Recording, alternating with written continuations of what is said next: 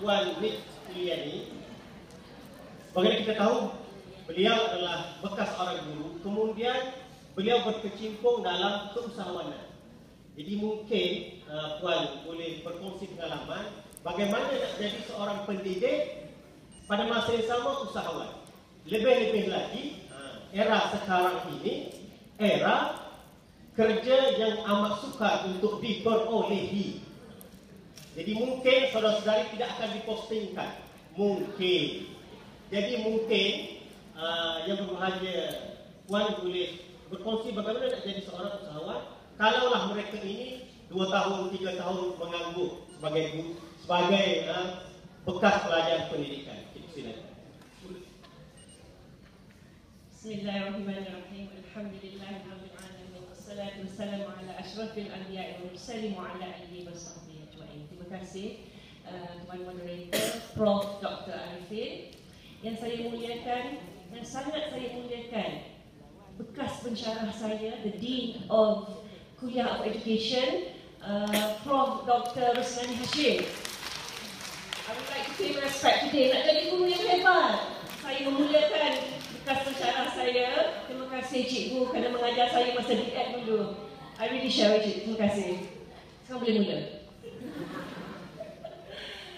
Baik, Alhamdulillah saya rasa uh, uh, first saya nak saya nak share my happiness to be here because it's a throwback pada zaman you are at the uh, campus TJ dulu di mana saya bertemu dengan pensyarah-pensyarah yang hebat arwah Profesor Atanulong, uh, Profesor Dr. Hassan Gulung, uh, of course uh, Prof. Uh, uh, Usnani uh, dan uh, Datuk Profesor Dr. Awan Sarian.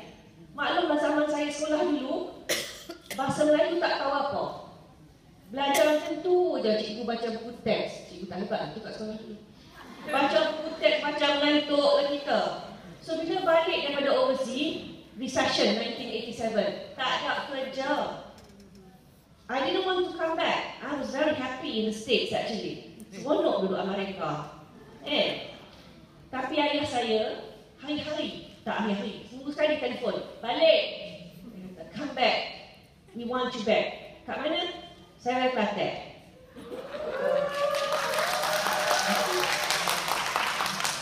So, hari ni pun saya tak berapa pandai bahasa Melayu. Kalau tubik bahasa ibunda saya. Sebab Prof. Uh, Dr. Nizam kata tadi kalau nak mengubah perasaan dengan bahasa ibunda. Bahasa ibunda orang Kelantan ni Kelantan. But whatever, I will try to speak uh, bahasa Melayu yang baik dan uh, terpaksa juga nak campur-campur orang putih. Sebab ada benda tak cakap orang putih tak jijak kan? Ha, kena cakap orang putih. Okay.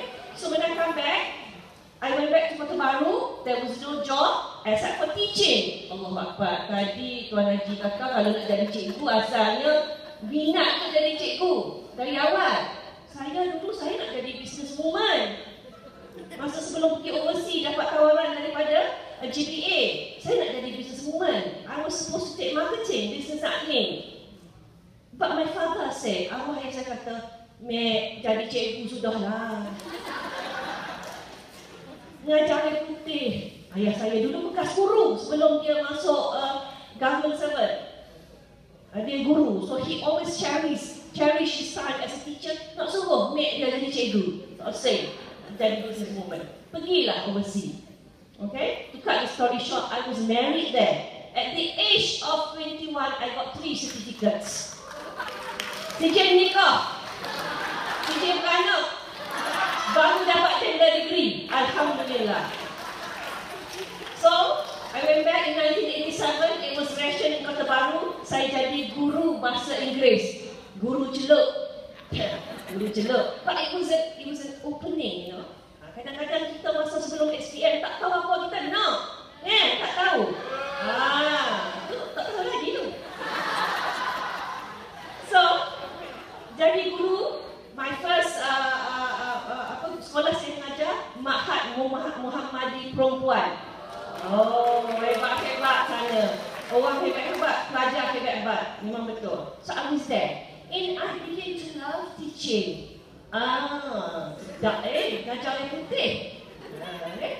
Engkau kita bawa banyak kursi, speaking, getar lidah-lidah. Mother, mother. Jadi orang suka lah kat kita, kita pun suka. Oh, okey lah, cakap kat arwah ayah saya, papa-papa nak jadi cikgu lah. Nak ambil deep ed, UIA. Masa tu saya dah nak dua orang. Dua orang. Saya multitasking. Multitasking. Ngaji, beranak, nikah di belakang. Saya cakap kat ayah saya, saya nak buat deep ed kat UIA. Oh, masa tu saya di overseas pun, that is where I came to know Islam. That is where I began to understand what a Muslim really is. So bila saya balik mengajar kat sekolah agama, walaupun mengajar orang putih English, orang panggil ustazah English, lah. Okay? Saya pakai tudung lapor kan? Okay, masa tu, masa tu, 1988. 1988. Saya pergi merayu menitis air mata kat mak saya. Nak pinjam duit nak mengaji UIA. Sebab anak dah dua orang. Gaji 800 masa tu, hit bagi. Okay, cut the story short, yes, I came to UIA, I met beautiful lecturers and teachers who planted the seed in me to become who I am today. So to cut the story short lagi, sebenarnya selepas eh, saya ditawarkan sebagai guru metrik UIA. Know, if I accepted properly saya di sini agaknya, agaknya lah ada doktor kata depan nama saya, tak ada. Okay, profesor dah kan, tak apa, saya profesor kat rumah tak apa. Okay, so, but the letter did not arrive, so I didn't report for duty. I get Allah has greater plans for me. Kalau tidak, tak ada mungkin buku baca anakku. Tak ada mungkin company saya big network. So, Allah SWT had greater plans for me. So, di dalam tahun 80, uh, tahun 1995, saya diuji. Diuji dengan anak ketiga saya. Saya dapat tahu uh, dah dua bulan semua masuk tahun satu tak pandai membaca. Panik orang tua ni sebab masa saya kat overseas saya tengok budak-budak sana kecil-kecil lagi dengan buku. Kecil-kecil lagi, mak nenek semua atuk bawa pergi library baca buku. So I wanted my children to be able to read before going to. And my first two children, no problem. Semua dapat membaca sebelum masuk melangkah tahun satu. Tetapi kenapa yang ketiga, Atirah tak dapat? Sebab sibuk di sekolah, banyak kerja. Masa tu dah graduate daripada UIA 1990 dan masuk sekolah, saya mengajar di sekolah SMKA. Naim Lil Banat, mengajar sekolah hebat. Sekolah hebat-hebat semua. Saya dapat keluar mengajar betul-betul dengan murid-murid yang hebat-hebat. Alhamdulillah. So, um, banyak kerja masa tu kerja SSB, gaji SSB. Gaji melintang negak. Saya kata, hmm, yang dikejar tak dapat, yang dikendam jatuh lebok-lebok. Anak seorang nombor tiga tak pandai baca. Panik lah orang tua ni. So saya berlari masa tu tahun 95 cari, nak cari buku nak ajar anak membaca. Membaca dalam bahasa Melayu dahulu. Sebab di Kelantan, first language Kelantan. Second language, Hindustan.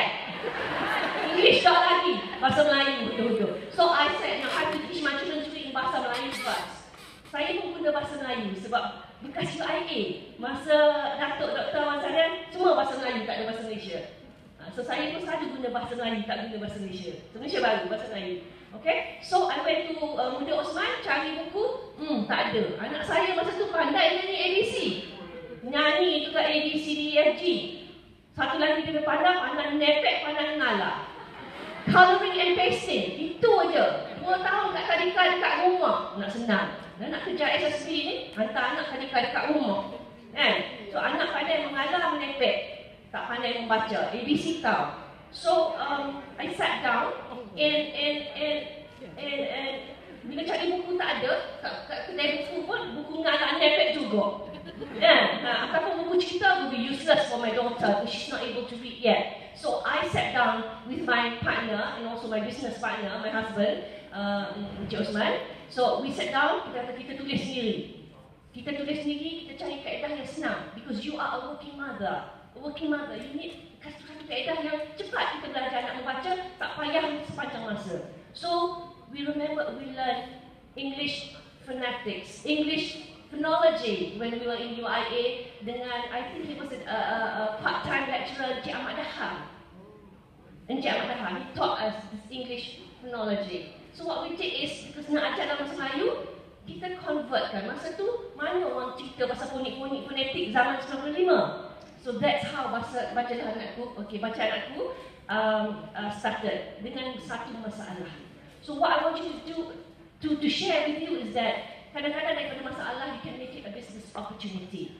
But saya agree dengan cikgu, kita kena ada ilmu dan kemahiran. I may not be a PhD uh, a but I do a lot of reading, I do a lot of research dan saya cuba implementkan. Saya buat kelas-kelas membaca, empat orang satu kelas, setengah jam, budak empat, lima, enam tahun.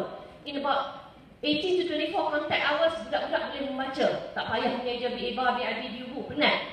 So from there I said, okay, saya sekali lagi berfikir arah tinggi. Ha, arah tinggi ni, dream, berangan-angan. Berangan-angan, I want all Malaysian kids to be able to read before going to year one. So I said, we've got to share this book. We've got to publish. And it's not a matter of selling the book, it was sharing knowledge. I go to my friends, I tell them how to use the book. Sebab kalau buka buku baca anak tu macam buku lain aja, buku bahasa Melayu lain aja. But what comes with it is the teaching. And we have perfected after 20 years, sekarang dah 20 tahun, kami dah perfected langkah-langkah mengajar uh, kaedah fonetik gabung bunyi based on bacaan anakku. Dan Alhamdulillah in 2001, kami telah terbitkan the English version. Saya mula kata, Allah siapa nak beli buku orang putih, orang Kelantan tulis. Alhamdulillah. Alhamdulillah. And right now, um, um, uh, yang menjadi cabaran untuk saya is to promote uh, our method kaedah mengajar alternatif kepada sekolah-sekolah kementerian. Alhamdulillah yang swasta mudah menerima, tetapi yang yang kementerian kepada dasar nazir-nazir masih lagi apprehensive about bahasa Melayu phonik. So, we hope that we can share this dengan bakal-bakal guru. I hope to come and see you again. Maybe we can have a section together to share about how to teach children to read in bahasa Melayu, insyaAllah. Dan yang terbaiknya, we have um, kami telah mulakan uh, Read Network Academy. It's a training sebab saya rasa saya dah tua sahabat. I want to share what I know with everybody. And I cannot do it alone. I need a team. So we are we are committed. I'm so passionate in training, especially guru-guru muda nanti tak ada kerja.